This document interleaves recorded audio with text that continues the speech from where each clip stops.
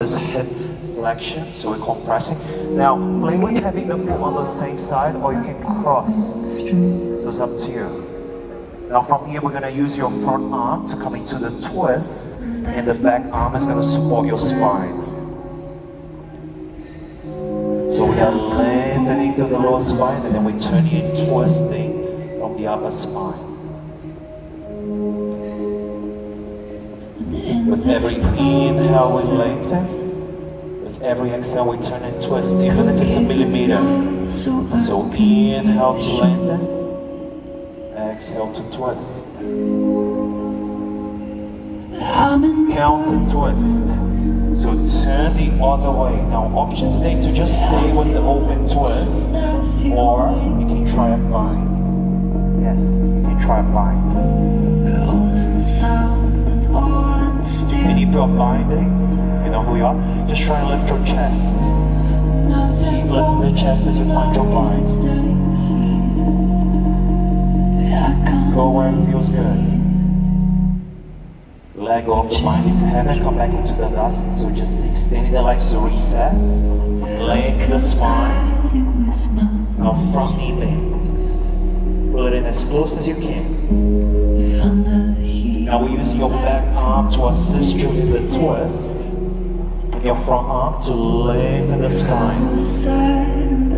Now turn your head the way you want to twist. So look back. Bring your chin slightly back. Open twist. Option here to find a bind. And then when you find your bind, just try and lift your chest up.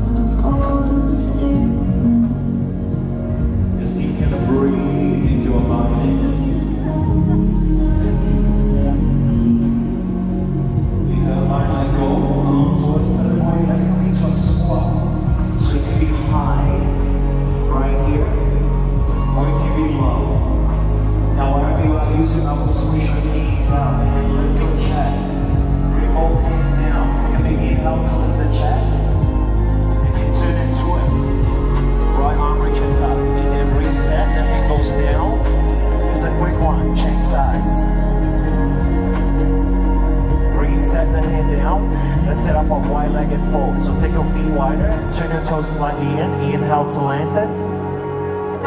Exhale. Reach your right arm up. Twist. Inhale to reset so the hand comes down. Exhale. Twist the other way. Turning from the center of the chest. Inhale to reset, lengthen the spine. Now as you exhale, just come down to your fold.